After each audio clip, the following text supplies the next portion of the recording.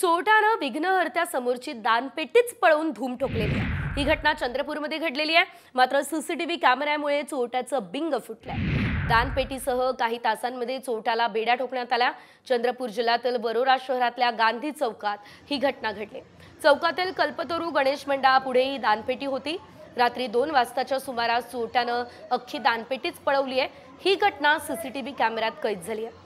सकाळी कार्यकर्त्यांनी या परिसरात संशयास्पद स्थितीत वावरणाऱ्या आणि सीसीटीव्हीमध्ये दिसलेल्या इसमाची झडती घेतली आहे. त्यानंतर चुरगळलेल्या नोटा नाणी अशी सहा हजार रुपयांची रक्कम सापडली आहे. मंडळाच्या तक्रारीनंतर पोलिसांनी प्रशांत वाकुलकर या चोराला ताब्यात घेतलेला आहे.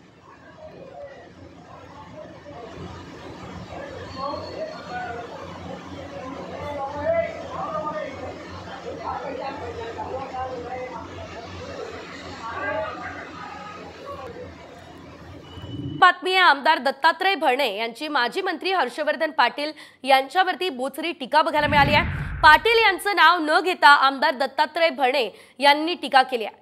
तुमचा आमदार झोपलेला नाही हे तुम्ही लक्षात ठेवा असं म्हणत त्यांनी टीका केली. इंदापूरकरांनो तुमचा आमदार कमी बोलतो कमी जाहिरात करतो फ्लेक्स कमी लावतो व्हॉट्सअपवर कमी येतो मीडियामध्ये चॅनल्सवरती कमी दिसतो. पण तुमचा आमदार झोपलेला नाही. असं म्हणत आमदार दत्तात्रय भणे यांनी हर्षवर्धन पाटील यांच्यावर बोचरी टीका केली. इंदापूर शहरातील पंचायत समिती येथील कार्यक्रमात आमदार भरणे हे बोलत होते. आता तुमचा आमदार थोडा कमी बोलतो कमी जाहिरात करतो फ्लेक्स कमी लावतो व्हॉट्सअपवर कमी येतो मीडिया समोर मीडियाच्या त्यांच्या इंटरव्ह्यू मध्ये कमी येतो. पण तुमचा आमदार झोपलेला नाही.